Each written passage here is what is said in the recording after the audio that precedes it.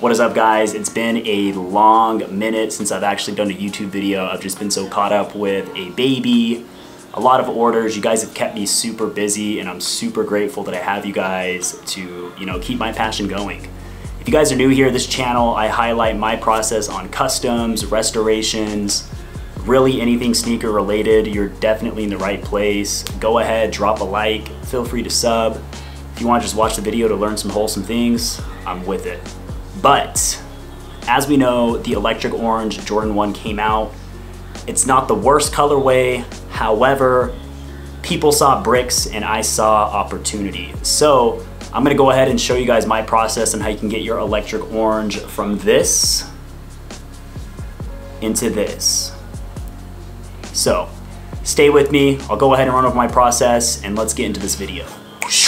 Let's talk paint mixtures real quick. So in order to get the orange that I personally like, you can't just utilize your shattered backboard orange that Angelus makes. You also gotta add in about 30% of buttercup. So you wanna go about 70% shattered backboard orange from Angelus and then about 30% of the buttercup by Angelus. Mix those two bad boys together and we get our paint mix. Instead of going for Angelus flat black on the heel, what I'm gonna do is grab Fiebing's Black Pro dye. You can also pick up Angelus Jet Black dye. I just happen to like this brand a little bit more because it leaves the right hue of black. Of course, when it comes to prep on your surface, I always, always, always recommend Angelus, leather, preparer, and deglazer. I think we're gonna need adhesion, bulldog promoter. You always wanna spray this down before painting. Helps that paint become a lot more pliable and durable which in the long run is going to create a more durable custom. Last but not least is my sole dye concoction. Really, it's not a secret. You just put sauce, barely one to two drops of dye, shake that up, and then we're just going to paint it over the midsole. Let's go ahead and get into this process and start taping the shoe and show you guys the magic. I'm going to go ahead and run over this heel that way we can get all this factory finish off and um, get that dye to go a little bit deeper into the heel. I'm super pumped with how the heels came out on this. I usually opt for dye just because it's more of a permanent solution. Once we seal it up with the matte finisher at the very end, it's gonna look factory. So the next process of this, of course, is taping up the uppers. We've already dialed in the leather and removed all the finishes from the collar and then the leather heel. Now let's go ahead and tape it up.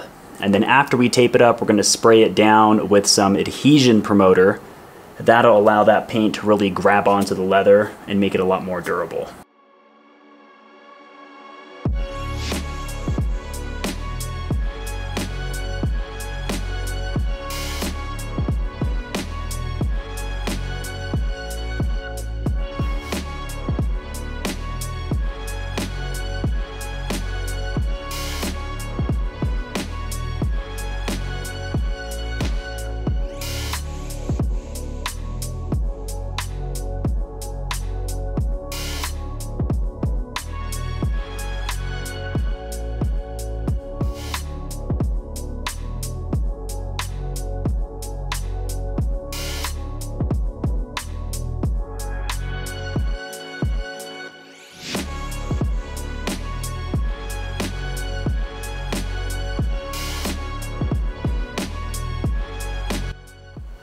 Guys, this Wings logo took me a solid hour of just doing it by hand. I'm still gonna go in there and touch up little areas before I, of course, lay over the matte finisher.